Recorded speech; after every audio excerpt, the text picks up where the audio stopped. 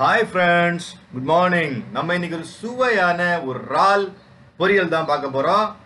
அந்த பொரியல் எப்படி செய்யறது பார்க்கலாம். வாங்க.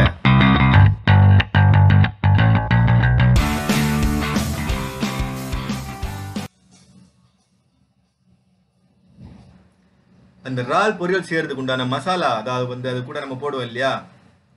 அதை நம்ம எப்படி செய்யறதுன்னு பார்க்கலாம். அந்த வந்து ஒரு கொஞ்சம் தேங்காய் தேங்காய் கொஞ்சம் எடுத்துக்கிறோம்.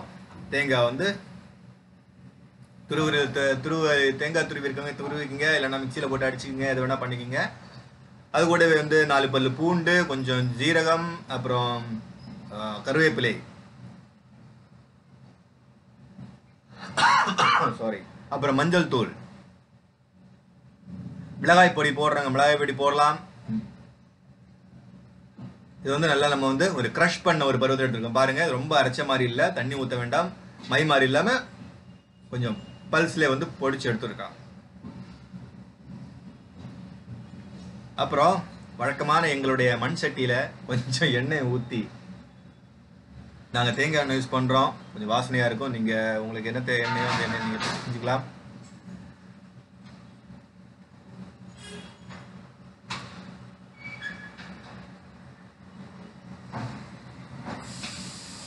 அதில் ஒரு காஞ்ச மிளகாய் போடுறோம் கருவேப்பிலை போடுறோம்.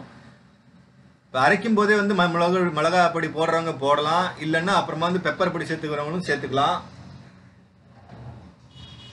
இந்த காரம் ரொம்ப வேணாம்னா இதில் இந்த இந்த தாளிக்கிற எண்ணெயிலே வந்து இந்த காரம் கொஞ்சம் இருக்கும்.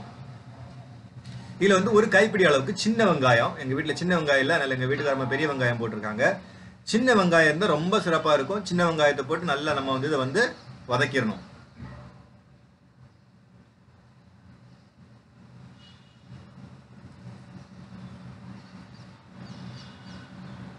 அப்புறம் தேவைக்கு உப்பு. அப்புறம் நாங்கள் இந்த இந்த சின்ன சின்ன இது இருக்கு இல்லையா? சின்னாக்குனியா ஷ்ரிம்ப் இருக்கு இல்லையா? அந்த ஷ்ரிம்பை வந்து நாங்கள் வந்து நல்லா க்ளீன் பண்ணி வச்சுருக்குறோம். ரொம்ப ரொம்ப பொடிப்பொடியான ஷ்ரிம்ஸு அதை பொடி பண்ணி வச்சுருக்கோம். இது கழுகி அது மண் அதில் மண் நிறைய இருக்குங்க.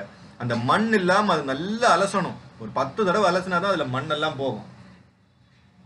நல்லா அலசணும். இந்த கடல் மணல் வெள்ளையா இருக்கிறதுக்கு அதுக்கும் இது இந்த ஷ்ரிம்ஸும் வெள்ளையா இருக்குமா ஸோ உங்களுக்கு தெரியாது. அதனால நம்ம நல்லா அதை வந்து அலசணும். லெஃப்ட் அண்ட் ரைட் வாங்கணும் அதை. பாருங்க இதுதான் அது. நம்ம இதை வந்து அதில் சேர்த்துக்கலாம். அதிகமான மசாலாவோ எதுவுமே இல்லாத ஒரு சிறந்த ஒரு இது இது. நல்லா இருக்கும் சாப்பிட்றதுக்கு. நம்ம கொஞ்சம் இதை வந்து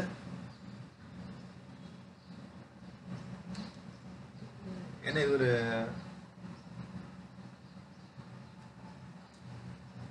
நல்லா வந்து நம்ம வதக்கிறோம்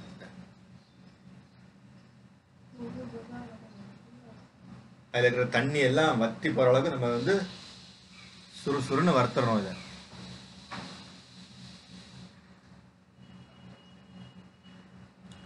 இப்போ நம்ம அரைச்சி வச்சுருக்க அந்த தேங்காய் துருவல் அந்த தேங்காய் துருவல் ஜீரகம் பூண்டு இதெல்லாம் சேர்ந்த அந்த மசாலா இருக்கு இல்லையா? அதை அதில் போட்டு நல்லா கிளறிடுறோம் அப்புறம் இந்த தேங்காய் வேகிற அளவுக்கு நம்ம வந்து வேக விட்டுறோம். இதில் உள்ள தண்ணியெல்லாம் போய் சும்மா சூப்பராக ஆயிடும்.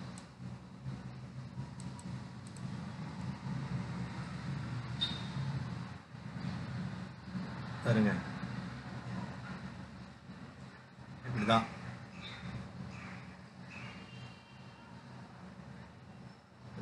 துவையல் மாதிரி ஆயிடுச்சு பாத்தீங்களா?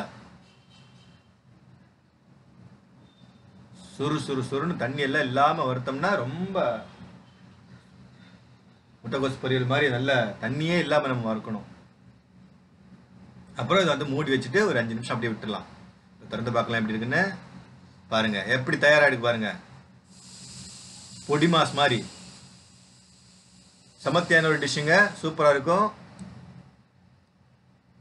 இத என்ன சொல்றீங்கன்னு தெரியல ரொம்ப அருமையா இருக்கும். சாப்பாடு கூட எல்லாம் சாப்பிடலாம்.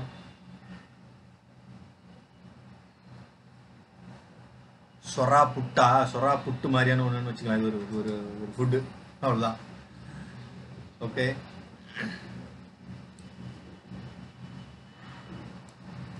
ரொம்ப சூப்பராக இருக்கு ரொம்ப சூப்பராக வந்திருக்கு. பட் டேஸ்டாகவும் இருந்துச்சு. ஓகே பாருங்க.